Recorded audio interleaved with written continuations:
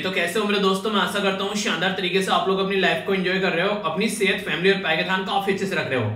तो नए सप्ताह की स्टार्ट करेंगे, नए जोश के साथ में, और जोश इतना हाई होना चाहिए कि पूरे सप्ताह आप लोग का बना रहे। कहने का मतलब यहाँ पर यह कि जितने जोश में आप लोग पढ़ाई को स्टार्टिंग के दिन में आप लोग वीक के लेकर चलोगे, पूरे एनर्जी आप लोग की मेंटेन रहेगी पूरे सप्ताह में। तो इसलिए फुल एनर्जी फुल जोश के साथ में आप लोग को अपनी पढ़ाई को आगे लेकर चलना है। बड़ी ही प्यारी, बहुत शानदार बात है बोलेगी है। क्या बोला गया समझ लेते हैं। ठुकरा दिया जिन्होंने मुझे मेरा वक्त देखकर। कसम खाता हूँ, ऐसा वक्त लाऊँगा कि मिलना पड़ेगा मुझे से वक्त लेकर। ज़िंदगी में अगर आप लोग अपने समय को इंपोर्टेंस देना स्टार्ट कर दोगे, आप लोग अपने टाइम पर फोकस देना स्टार्ट कर दोगे तो आप लोग समझ पाओगे कि आज की डेट में जो वक्त आप लोगों के पास में है, वो कितना कीमती है। देखिए 99% लोग जो इस पृथ्वी पर है ना, वो अपने वक्त को समझ ही नहीं पाते और लगभग एक प्रतिशत लोग ऐसे हैं जो अपने वक्त को ढंग से समझ पाते हैं, और वही एक प्रतिशत लोग जो हैं, वो इस दुनिया को चलाते हैं। तो जिस जिस इंसान ने अपने वक्त को समझ लिया वो इंसान जो है उससे ज़्यादा इंपोर्टेंस किसी और चीज़ को नहीं देगा। क्योंकि जब आप लोग मॉर्निंग में उठते हैं तो आप लोगों के पास में 86,400 सेकंड होती हैं। अगर आप लोग मॉर्निंग में थोड़ा सा लेट उठ गए यानी कि मान लीजिए आप लोगों को किसी ने मॉर्निंग में 86,400 रुपीज़ दी और आप लोगों के उसमें से 400 रुपए खत्म हो गए ठीक है? तो क्या आप लोग 86,000 जो है उनको भी फेंक दोगे कि नहीं यार खराब हो गए तो ये मेरे किसी काम के नहीं है कभी नहीं फेंकोगे।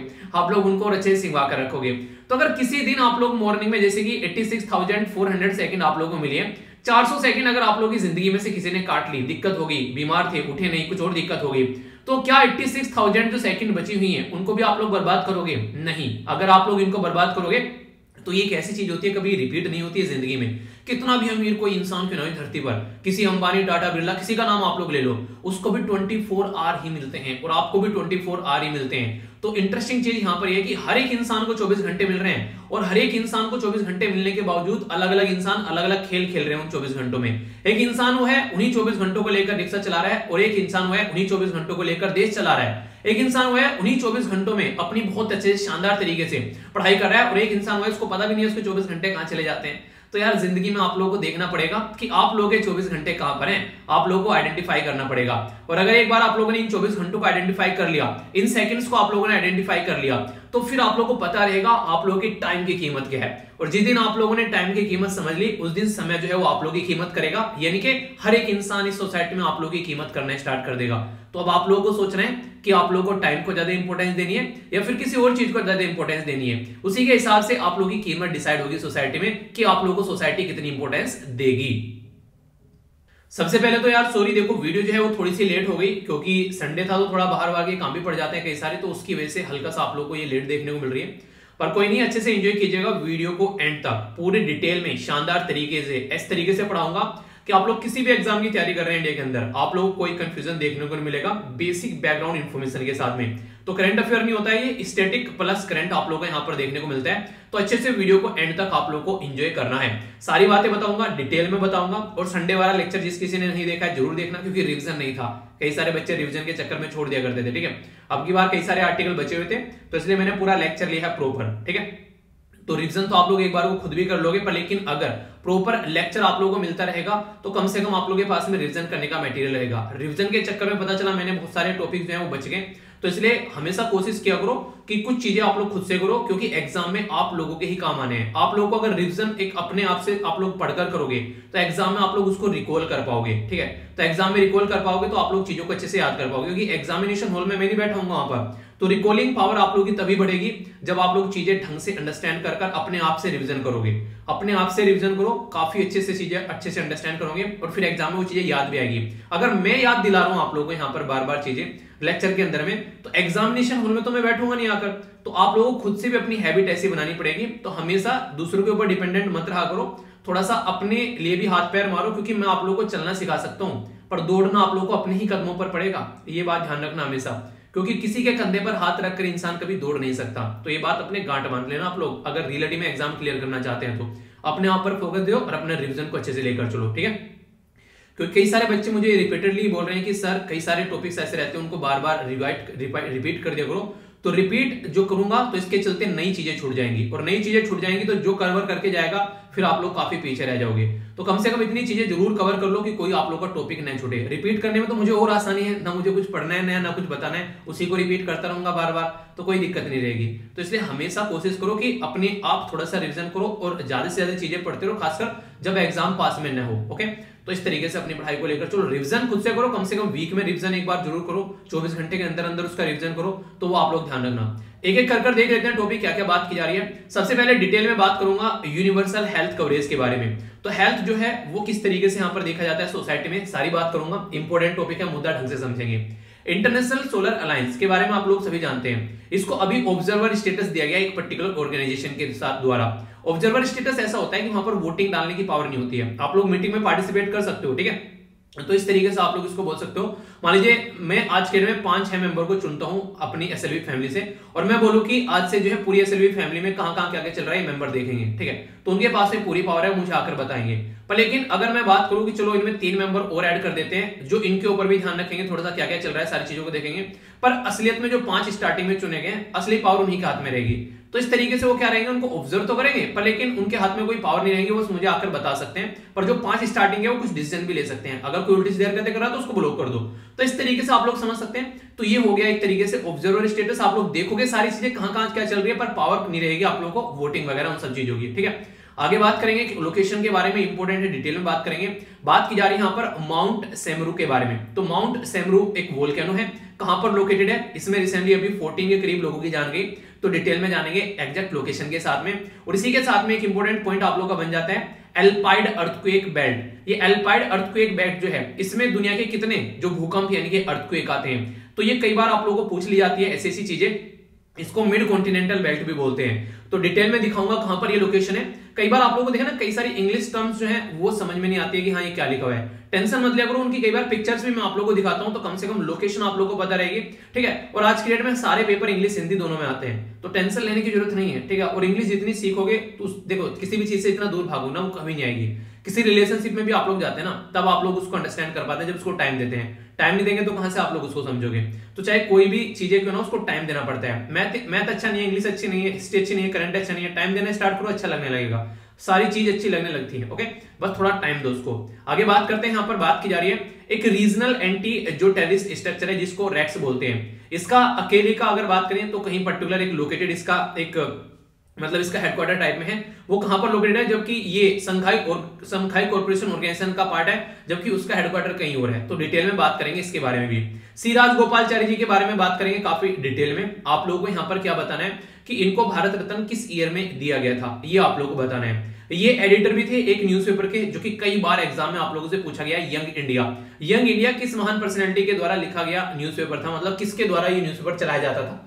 एडिटर तो कई होते हैं। जैसे ना आप लोग एडिटोरियल डिस्कस करते हैं, जब मॉर्निंग में आप लोग की वीडियो आती है तो उसमें आप लोग एडिटोरियल देखते हैं। तो एडिटर तो कई सारे रहते हैं, कई सारे एडिटोरियल लिखने वाले वहाँ पर रहते हैं, ठीक है? तो इस तरीके से आप लोग बोल सकते हैं। तो यहाँ पर एक तरीके से कई सारे लोग जो रहते हैं, उसको देख, जैसे मान लो एडिटोरियल कई सारे ने देख दिया। एक पर्टिकुलर पर्सन होगा जो देखेगा कहाँ कहाँ पर क्या क्या चीज़ें सही चल रही है, नहीं चल रही है। तो इस तरीके से वो पार्ट होता है उस सिस्टम का। पर लेकिन न्यूज़पेपर किसका होता है हिंदू का न्यूज़पेपर है। तो इस तरीके से समझ सकते हैं आप लोग यहाँ पर। इसी के साथ में सिराज गोपालचारी जो है, वो last governor general of India भी आप लोग बोल सकते हैं। किसकी एब्सेंस में? यहाँ पर इनको गवर्नर जनरल बनाया गया था, ये आप लोगों को बताना है। रसिया और यूक्रेन के बीच में अभी यहाँ पर झड़प देखने को मिल रही है। और आज भी न्यूज़पेपर में इसके ऊपर आर्टिकल था जी सेवन कंट्री के द्वारा कुछ स्टेप उठाए गए। तो ये इंपॉर्टेंट आर्टिकल है रिपीटेडली आ रहा है। डिटेल में बात करूँगा, सारे कंफ्यूजन आप लोगों के दूर हो जाएँगे। यहाँ पर ये बताना है कि किस इंटेलिजेंस रिपोर्ट के द्वारा बोला गया कि रसिया जो है, वो यहाँ पर यूक्रेन के बॉर्डर पर जो फोर्सेस डिप्लॉय कर रहा है। तो ये सारी बातें आप लोगों को जानने को मिलेगी। तो लेक्चर तो काफ़ी प्यारा रहेगा, अच्छे से देखेगा जहाँ जहाँ पर कोई कंफ्यूजन होगा बताइएगा, ताकि आगे आने वाले लेक्चर में आप लोगों के कंफ्यूजन को भी दूर किया जा सके। तो सबसे पहले मैं आप लोगों से बात करूँगा यूनिवर्सल हेल्थ कवरेज के बारे में। हेल्थ इज़ वेल्थ आप लोगों ने सुना होगा। लोग क्या करते हैं? पहले पैसा कमाते हैं हेल्थ को बर्बाद कर कर और फिर पैसा लगाते रहते हैं उस हेल्थ को ठीक करने में। क्यों ना दोनों में बैलेंस बनाकर चला जाए? पैसा भी इतना कमाओ कि ज़िंदगी अच्छे से कट जाए और हेल्थ को भी इस तरीके से ध्यान रखो कि उसमें पैसा लगाने की ज़रूरत ना पड़े। तो रेगुलरली आप लोगों उसको टाइम देना पड़ेगा एक्सरसाइज करनी पड़ेगी बैलेंस डाइट लेनी पड़ेगी। तो उसी हेल्थ के बारे में बात कर रहा हूँ। अगर इंसान जो है हेल्थ पर ध्यान देना स्टार्ट कर दे तो बहुत सारी जो बीमारी है, उनसे उसकी दूरी बनना स्टार्ट हो जाएगी। पर लेकिन ऐसा होता नहीं है। तो इसलिए यहाँ पर कई सारे प्रोग्राम लाए जाते हैं ताकि हेल्थ पर ध्यान किया जा सके। आप लोगों को अगर सस्टेनेबल डेवलपमेंट गोल में भी मैं आप लोगों को लेकर चलू, सबसे इंपॉर्टेंट बात आप लोगों को देखने को मिलेगी हेल्थ को एजुकेशन से पहले रखा गया है। रीजन क्या है? जब एक इंसान जो है वो अच्छा हेल्दी होगा, उसका दिमाग सही होगा, तभी तो पढ़ पाएगा। वरना पता चला, दिमाग से तो बीमार चल रहा है, पता नहीं क्या उल्टी सीधी हरकतें चल रही है दिमाग में, किताब लिए बैठा है पूरे दिन, दिमाग में कुछ घुस ही नहीं रहा है। तो ये क्या हो गया? ये बीमार आदमी हो गया। यानी कि एक तरीके से वो हेल्थ से बीमार नहीं है, वो दिमाग से बीमार है। तो जब दिमाग से बीमार हो गया तो इनडायरेक्ट में हेल्थ से बीमार हो गया तो फिर कैसे पढ़ाई करेगा? तो इसलिए यहाँ पर सारी चीज़ें फिफ्ट होना ज़रूरी है, अगर रियलिटी में अच्छे से आप लोग चीज़ों को लेकर चलना चाहते हैं। तो इंटरनेशनल जो डे है, वो इसी मुद्दे के बारे में बात करते हैं कि हेल्थ जो है, वो काफ़ी इंपॉर्टेंट है, और खासकर कोविड नाइनटीन के चलते तो ये और भी ज़्यादा इंपॉर्टेंट हो गई है। तो ट्वेल्थ दिसंबर जो है, वो इसी के बारे में बात करते हैं। तो आप लोगों को अवेयरनेस फैलानी है, किस तरीके से हेल्थ सिस्टम को हम लोग को इंप्रूव करना है। और इसी के साथ में ये मल्टी स्टेक होल्डर पार्टनर जो है, उनको लेकर चलना पड़ेगा। गवर्नमेंट अपना काम करेगी सोसाइटी अपना काम करेगी, इसी के साथ में अलग अलग जो सोसाइटी में डॉक्टर है अलग अलग लेवल पर अपना काम करेंगे।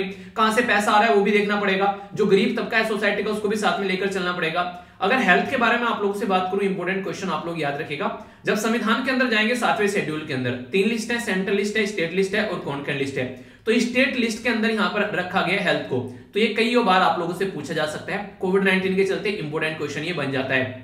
ठीक है, याद रखिएगा। एजुकेशन कहाँ पर रखा गया? ये आप लोग बताइए, कौन सी लिस्ट में रखा गया है? ठीक है तो central list state list concurrent list तो यहाँ पर कॉन्करेंट क्या होती है? संवर्ती सूची इसको बोलते हैं। तो ये सेंटर के द्वारा और ये स्टेट के द्वारा, ये दोनों के द्वारा मिलकर काम किया जाता है। अभी थीम क्या है? थीम क्या कह रही है क्या लीव नो वन बिहाइंड यानी किसी को पीछे नहीं छोड़ना है। When it comes to health जब हेल्थ की बात करते हैं। यानी कि जब हेल्थ के बारे में बात करें तो किसी को पीछे नहीं छोड़ना है। जैसे मैं बोलता ना कि leave no one behind when it comes to education यानी कि जब एजुकेशन के बारे में बात करें तो किसी को पीछे मत छोड़ो। सबको साथ में लेकर चलो। Invest in health system invest in education system for all ताकि सबको एजुकेशन मिल सके। तो कम से कम अगर फ्री नहीं तो अफोर्डेबल आप लोग एजुकेशन प्रोवाइड करो ताकि हर एक बच्चे को एजुकेशन और हेल्थ की फैसिलिटी मिल सके और किसी और चीज़ के ऊपर उसको डिपेंडेंट न रहना पड़े। तो ये कम से कम यहाँ पर चीज़ें लेकर चलनी पड़ेगी। इसीलिए यहाँ पर सबसे इंपॉर्टेंट बात आप लोग सस्टेनेबल डेवलपमेंट गोल के अंदर भी जब जाओगे, वैसे तो तीसरा गोल है यहाँ पर हेल्थ के बारे में बात करते हैं, पर तीसरे के अंदर भी जब आप लोग जाकर बात करोगे 3.8 तो यहाँ पर अचीव यूनिवर्सल हेल्थ कवरेज इसके अंदर भी इसके बारे में मेंशन किया गया है। तो अब फ़िलहाल क्या होता है, देखिए, थोड़ा सा ना अंदर जाकर क्वेश्चन पूछ लेते हैं। मान लीजिए हेल्थ के बारे में बात करेगा, वैसे तो एक डायरेक्ट पूछ सकता है कि सस्टेनेबल डेवलपमेंट गोल में कौन सा है यहाँ पर हेल्थ के बारे में। पर टोटल सत्रह सस्टेनेबल डेवलपमेंट गोल है, और इसके अंदर जो टारगेट है वो है 169 तो इसके अंदर भी अगर आप लोगों से हेल्थ के बारे में पूछने पर आ जाए, वो नहीं कहते कि जब जब वो जो टीचर जो है वो सोचने लगे कि मज़ा लेना है बच्चों का थोड़ा सा तो वो बोलेगा, चलिए यूनिवर्सल हेल्थ कवरेज जो है, वो हेल्थ के कौन से पर्टिकुलर पोर्सन में आप लोगों को देखने को मिलेगा सस्टेनेबल डेवलपमेंट गोल के? तो बोल देगा 3.8 3.7 3.9 तो हल्का सा इसके बारे में भी आप लोग याद रख सकते हैं। तो ये 3.8 में आप लोगों को यहाँ पर नज़र आएगा। तो ये काफ़ी इंपॉर्टेंट है, और ये मैंने आप लोगों को तब बताया था जब हमारे देश से मैंने बात की थी जहाँ जहाँ पर एक्सीडेंट हो रहे हैं, उसकी वजह से जो दिक्कतें देखने को मिल रही है। तो वो ट्रैफ़िक में जो एक्सीडेंट होते हैं तो हमारी कंट्री में लगभग, आज की डेट में आप लोगों ने देखा होगा, दुनिया भर के एक्सीडेंट होते हैं, और लगभग 500 लगभग पाँच लाख के करीब एक्सीडेंट आप लोगों को देखने को मिलते हैं, पाँच लाख साढ़े चार लाख के करीब, ठीक है? और बहुत सारे लोगों की जान जाती है उसकी वजह से। तो ये वाला मुद्दा यहाँ पर आ जाता है टीबी एड्स ये सारी जो बीमारी है यहाँ पर, वो आप लोगों को यहाँ पर देखने को मिलती है। तो ये कुछ ऐसे पॉइंट्स हैं, सारे नहीं डरने पर लेकिन कुछ कुछ ऐसी बातें जो पता होना चाहिए। कम से कम आप लोग, जो लोग जिनको नहीं पता है, उनसे एक स्टेप आगे हो जाओगे आप लोग यहाँ पर, ठीक है? तो ये सारी चीज़ें जो है आप लोग के माइंड में क्लियर होनी चाहिए ओके आगे चलेंगे, अब यहाँ पर एक एक कर टॉप देखें एक एक कर टॉपिक देखेंगे। वैसे थोड़ा सा अगर इसके बारे में बात करें तो यूनिवर्सल हेल्थ कवरेज का मतलब ये होता है कि सारी चीज़ों को ढंग से आप लोगों को लेकर चलना है। यानी कि एक तरीके से जिस इंसान के पास में पैसा भी नहीं है, उसको हेल्थ की फैसिलिटी कम से कम मिलनी चाहिए। ये पैसे के ऊपर डिपेंडेंट नहीं रहना चाहिए कि इसको हेल्थ की फैसिलिटी नहीं मिल रही है। और ये कौन करेगा? ये करेगी गवर्नमेंट क्यों करेगी गवर्नमेंट गवर्नमेंट इसलिए करेगी क्योंकि गवर्नमेंट आप लोगों से टैक्स ले रही है। तो टैक्स पेयर की मनी को गवर्नमेंट यहाँ पर यूज़ कर सकती है। तो यूनिवर्सल हेल्थ कवरेज में यहाँ पर कई सारी चीज़ें आप लोग को देखने को मिल जाएगी। एक्सपेक्ट क्या किया जाता है? यूनिवर्सल हेल्थ कवरेज से अगर लिखने के लिए कुछ आ जाता है तो देखिए तो यहाँ पर बात करते हैं एक ग्रेटर इक्विटी की, ठीक है? एक तरीके से सबको यहाँ पर सही तरीके से सही शेयर मिलना चाहिए। इंप्रूव हेल्थ कम आउट जो होना चाहिए इंप्रूव होना चाहिए। इफिशिएंट अकाउंटेबल होना चाहिए यहाँ पर और ट्रांसपेरेंट सिस्टम होना चाहिए। ये नहीं कि पैसे चल रहे हैं, घूसखोरी चल रही है वहाँ पर। जिसके पास है पैसा है, बस वही ठीक रहेगा, बाकी जिसको मरना है, मरे। अभी कोविड नाइन्टीन के टाइम पर हरकतें देखी होगी आप लोगों ने। जो गरीबों को कुछ मिल नहीं रहा था और अमीर जो है वो सारी फैसिलिटी इंजॉय कर रहे थे। इसी के साथ में रिड्यूस करना है पुअर्टी ताकि गरीबी को मिटाया जा सके तो उनको भी फैसिलिटी आप लोग प्रोवाइड करो। ग्रेटर प्रोडक्टिविटी यहाँ पर होनी चाहिए, लोगों को ज़्यादा से ज़्यादा चीज़ें मिले। इंक्रीज करनी है जॉब्स भी इसके अंदर बढ़ा सकते हैं और फाइनेंशियल प्रोटेक्शन भी प्रोवाइड करानी है तो तब जाकर यूनिवर्सल हेल्थ कवरेज आप लोग यहाँ पर कंप्लीट कर पाओगे। तो ये कुछ ऐसे मुद्दे हैं जिसके बारे में आप लोग आइडिया रख सकते हैं। क्वेश्चन भी बन जाए तो कंफ्यूज आप लोगों को नहीं होना है, ठीक है? आगे चलेंगे यहाँ पर, जो इंपॉर्टेंट मुद्दा है उसके बारे में समझेंगे। सबसे पहले मैं आप लोगों से बात करूँगा यूएन जनरल असेंबली के बारे में। यूएन जनरल असेंबली एक ऐसी बॉडी है जिसमें ऑल ओवर वर्ल्ड में टोटल मिलाकर 193 मेंबर आप लोगों को देखने को मिलेंगे। तो ये 193 मेंबर जो है, ये लगभग आप लोगों को नज़र आएँगे कि सारे बड़े बड़े मुद्दों पर बात करते हैं। तो फिर यहाँ पर इंटरनेशनल सोलर अलायंस वाला मुद्दा कैसे बच जाता है इससे? तो इसी के चलते इनके द्वारा इस मुद्दे के ऊपर भी बात की गई। और यहाँ पर अभी इंटरनेशनल सोलर अलायंस को इनके द्वारा ऑब्जर्वर का स्टेटस दे दिया गया है कि भाई साहब, ठीक है, तुम आके बैठना और बात करेंगे और फिर आगे मुद्दों को लेकर चलेंगे। तो इसी के चलते यहाँ पर इंटरनेशनल सोलर अलायंस को ऑब्जर्वर का स्टेटस मिल गया है यूएन जनरल असेंबली के अंदर में। पार्टिसिपेट कर सकता है इंटरनेशनल सोलर अलायंस और वहाँ पर बेसिकली अभी आज की डेट में अगर बात करें, और भी बहुत सारी ऑर्गेनाइजेशन आप लोग को देखने को मिलेगी। बात करते हैं पहले क्या क्या बातें की जा रही है। आज की डेट में अगर बात करें वेल डिफाइंड कॉपरेशन है बिटवीन यहाँ पर जो एक तरीके से अलायंस है और यूनाइटेड नेशन है तो इससे फ़ायदा क्या देखने को मिलेगा? आज की डेट में सब जो है क्रूड ऑयल पर बेसिकली डिपेंडेंट रहते हैं। मिट्टी का तेल हो गया डीजल हो गया पेट्रोल हो गया तो ये सारी चीज़ें आप लोगों को देखने को मिलेगी। अगर इन्हीं के ऊपर हम लोग डिपेंडेंट रहेंगे तो कैसे काम चलेगा भैया? ऐसे कैसे चलेगा भैया? क्योंकि आप लोग क्लाइमेट चेंज को भी आप लोग को टैकल करना है। जब से पेरिस क्लाइमेट एग्रीमेंट हुआ था दो हज़ार पंद्रह से, तब से आप लोग इन मुद्दों के ऊपर फोकस दे रहे हैं। कॉन्फ्रेंस ऑफ़ पार्टी कौन सी थी वो? कॉन्फ्रेंस ऑफ़ पार्टी याद रखना ट्वेंटी वन थी यहाँ पर, जब यहाँ पर क्लाइमेट चेंज के बारे में बात करते हैं पेरिस क्लाइमेट एग्रीमेंट के बारे में बात करते हैं। अभी कौन सी हुई थी यहाँ पर? अभी हुई थी twenty six conference of party ये कहाँ पर हुई थी? चलिए आप लोग बताइए। तो ये जो मुद्दा था यहाँ पर, ये बेसिकली मुद्दा यही है कि कैसे चीज़ों को आगे लेकर चलने ताकि सिचुएशन को सुधारा जा सके। चौथे नंबर की जब जनरल असेंबली की मीटिंग हुई अभी इंटरनेशनल सोलर अलायंस की तो काफ़ी सारे लोगों को न्योता दिया गया, और उन न्योते में जो न्योता गया, यहाँ पर 108 कंट्री लगभग पार्टिसिपेट कर रहे थे यहाँ पर। 74 मेंबर थे और इसी के साथ में मेंबर कंट्री और 34 इसमें ऑब्जर्वर भी थे। यानी कि कई सारे लोगों को न्योता दिया गया। तो यहाँ पर सब जो है वो एंजॉय करने आए। चाय पानी पी अपना एंजॉय किया सबने। इसमें 23 पार्टनर ऑर्गेनाइजेशन भी थी अलग अलग और 33 स्पेशल इन्वाइटिव ऑर्गेनाइजेशन भी थी, जिससे कोई छुटे ना होने के, गाँव में अगर सबको न्योता दे दीजिए पता चला कोई गुस्सा हो गया तो गुस्सा कोई नहीं होना चाहिए, न्योता सबके पास से पहुँचना चाहिए। सितंबर में अभी फुल यूएन मेंबरशिप की जो मीटिंग आप लोगों को देखने को मिली जनरल असेंबली तो ये न्यूयॉर्क के अंदर आप लोगों को देखने को मिलेगी एनुअल जनरल असेंबली का सेशन तो यहाँ पर एक काफ़ी जनरल डिबेट आप लोगों को देखने को मिलता है, और बहुत सारे मेंबर जो है, वो इसमें पार्टिसिपेट करते हैं। ये न्यूयॉर्क आप लोग कहाँ पर देखने को मिलेगा एग्जैक्ट लोकेशन अगर मैं आप लोगों से बात करूँ तो ये एग्जैक्ट ही आप लोगों के सामने ठीक है? तो यूएसए के अंदर आप लोगों को यहाँ पर ये न्यूयॉर्क नज़र आएगा। तो यहाँ पर सारी मीटिंग आप लोगों को देखने को मिलती है, ठीक है? अगर आप लोग इसको देखना चाहते हैं तो एग्जैक्ट यहाँ पर ये लोकेशन है। तो ये काफ़ी इंपोर्टेंट एरिया है, खासकर यूएसए के अंदर बहुत सारी मीटिंग आप लोग यहाँ पर देखने को मिलती है सारी। तो इसके बारे में आप लोग मोटा मोटा आइडिया रख सकते हैं, ठीक है? तो ये बेसिक इन्फॉर्मेशन होगी इसके बारे में। आगे चलते हैं, यहाँ पर आगे आप लोग बेसिकली एक जो ये, अगर इसके बारे में बात करें, थोड़ा सा यूएन जनरल असेंबली के बारे में। तो यूएन जनरल असेंबली जो है, वो आप लोग को मेन पॉलिसी मेकर जिसका बॉडी देखने को मिलेगी, ये बेसिकली यूएनजी है। यूएन का एक ऑर्गन है जो कि रिप्रेजेंट किया जाता है तो यहाँ पर काफ़ी इंपॉर्टेंट जो भी डिसीज़न ले आते हैं, इसके द्वारा ले आते हैं। 193 मेंबर आप लोगों को यहाँ पर इसके देखने को मिलेंगे। इसी के साथ में जनरल असेंबली का जो प्रेसिडेंट होता है, वो इलेक्ट किया जाता है ईच ईयर बाय द जो वन जो मेंबर होते हैं, जो मेंबर होते हैं उनके द्वारा यहाँ पर तो सर्व करता है वन ईयर टर्म ऑफ़िस तो ये आप लोगों को यहाँ पर नज़र आएगा, ठीक है? इसके जो प्रेसिडेंट है, फ़िलहाल अभी कौन है? यह अब्दुल्ला सईद, ठीक है? कौन सी कंट्री है ये आप लोगों को बताना है? चलिए जाकर इसके बारे में थोड़ा सा पढ़ लीजिएगा। बाकी इंटरनेशनल सोलर अलायंस के बारे में तो आप लोगों को पता ही क्योंकि ये तो घर का आदमी है। हमारी ही कंट्री में इसका आप लोगों को हेडक्वार्टर देखने को मिलेगा, ठीक है? कहाँ पर? गुरुग्राम में, जिसको आप लोग गुड़गांव बोलते थे ना गुरुग्राम बोलते हैं इसको। तो यहाँ पर 30 नवंबर 2015 में इसको बनाया गया था, और इसके डायरेक्टर जो है आज के डेट में, वो है अजय माथुर साहब। तो इंटरनेशनल सोलर अलायंस को शॉर्ट फॉर्म में आईएसए भी आप लोग बोलते हैं। और फाउंड जो किया गया था यहाँ पर, ये काफ़ी इंपोर्टेंट क्वेश्चन बन सकता है, आप लोगों से याद रखिएगा। हमारी कंट्री के जो प्राइम मिनिस्टर है यहाँ पर, नरेंद्र मोदी जी, और यहाँ पर फ्रांसिको ये होलांदे ये उस टाइम पर फ्रांस के प्रेसिडेंट थे, जिनके द्वारा मिलकर काम किया गया था, ठीक है? अगर मैं आप लोगों को यहाँ पर पिक्चर में एक पर्सनैलिटी आप लोगों को दिख रहे हैं, काफ़ी ज़्यादा न्यूज़ में है। ये प्रेजेंट टाइम पे फ्रांस के प्रेसिडेंट है। इनका नाम आप लोग को बताना है, देखता हूँ कौन कौन बताते हैं। ये बहुत ज़्यादा न्यूज़ में देखने को मिलता है, खासकर अभी भी काफ़ी ज़्यादा न्यूज़ में है। जब यूएसए जब यहाँ पर यूएसए ने बोला कि बीजिंग के अंदर वो ओलंपिक के गेम में पार्टिसिपेट नहीं करेंगे मतलब ऑफिशियली यहाँ पर तो यहाँ पर बीजिंग के अंदर नहीं जाएँगे। तो उस टाइम पर फ्रांस ने बोला, भाई साहब, हम तो जाएँगे। रीजन क्या है? फ्रांस जो चिड़ा हुआ है। आप लोग बोलेंगे, क्यों चिड़ा हुआ है? क्योंकि जब यहाँ पर ऑस्ट्रेलिया को अभी न्यूक्लियर सबमरीन दी गई यहाँ पर यूएसए के द्वारा, वो फ्रांस से खरीदने वाला था। तो बिलियंस ऑफ़ डॉलर की डील थी वो, और उसकी वजह से फ्रांस के साथ में उनकी डील जो है वो कैंसिल हो गई। तो इसकी वजह से वो जो डील है, अभी यहाँ पर वो डील मिल गई यूएसए को। तो इसके चलते यहाँ पर एक काफ़ी ज़्यादा गुस्सा भी हुए थे उस टाइम पर। तो काफ़ी ज़्यादा न्यूज़ में थे। तो इसी के चलते यूएसए के और बेसिकली यूके के खिलाफ कई जगह मुद्दों पर खड़े हुए मिलेंगे आप लोगों को। तो इनके बारे में बेसिक इन्फॉर्मेशन होगी। कहीं भी कहीं क्वेश्चन बन जाए तो बेसिक इन्फॉर्मेशन होनी चाहिए। अभी एक बहुत बड़ा मुद्दा जो आप लोगों को देखने को मिलता है, वो है वन सोलर वन वर्ल्ड और वन ग्रिड ठीक है? यानी कि वन सोलर मतलब one sun one sun one world और वन ग्रिड इसको O S O W O जी बोलते हैं। ये क्या मतलब है? ओ जी ए जी लो जी सुनो जी ऐसा कुछ नहीं है जी। ये क्या है? ये एक तरीके से एक ऐसा सिस्टम है, जैसे मैं आप लोगों को बोल दूँ, चलो मिलकर एक ग्रुप बनाते हैं, ठीक है? जी जिसके पास में जो जो रिसोर्सेज हैं, अगर वो उनका यूज़ नहीं कर रहे हैं तो उसको लगता है वो रिसोर्सेज ज़्यादा हैं। मान लीजिए आप लोगों के पास बुक्स है बहुत सारी ठीक है? एक पर्सन ऐसा जिसके पास में किताबें नहीं है। तो हम क्या करेंगे? जिसके पास में किताबें नहीं है, उसको किताबें देंगे, जिसके पास में किताबें नहीं है, ठीक है? पता चला इसके पास में कपड़े बहुत ज़्यादा हैं, जो कि इसके छोटे हो गए हैं, पहनता नहीं है इंसान। ये उस इंसान को कपड़े देगा जिसके पास में कपड़े नहीं है, ठीक है? एक इंसान ऐसा है जिसके घर में कुछ खाने पीने का सामान बहुत ज़्यादा है उसको देगा जिसके पास में सामान नहीं है। तो इससे क्या होगा? एक दूसरे की मिलकर हेल्प करेंगे। तो ऐसा ही सिस्टम यहाँ पर क्रिएट करने की बात की गई है। कैसे? इसको समझ लेते हैं। जैसे मान लीजिए आप लोग यहाँ पर देखिए, ये अपनी प्यारी पृथ्वी आप लोग को देखने को मिल रही है यहाँ पर। तो जो पृथ्वी है, इसमें हर जगह कभी ना कभी, किसी न किसी टाइम पर आप लोग को सूरज निकलता हुआ नज़र आएगा। अगर मोटे मोटे तौर पर बोलो, जैसे आप लोग यहाँ पर अभी अगर इसको देखेंगे तो आप लोग यहाँ पर देखिए, ठीक है? आधे हिस्से में अंधेरा आप लोग को दिख रहा होगा यहाँ पर, ठीक है? तो आधे हिस्से में अंधेरा है, आधे हिस्से में यहाँ पर आप लोग को रोशनी नज़र आ रही है। तो इसका मतलब कहीं ना कहीं, किसी न किसी टाइम पर सूरज जो है, वो आप लोग को निकला हुआ नज़र आएगा। तो इस टाइम पर अगर जहाँ पर सूरज निकला है, वहाँ पर तो आप लोग आराम से, सूरज निकला है, वहाँ पर आराम से आज के डेट में जो है बेसिकली जो सोलर एनर्जी काम करती रहेगी।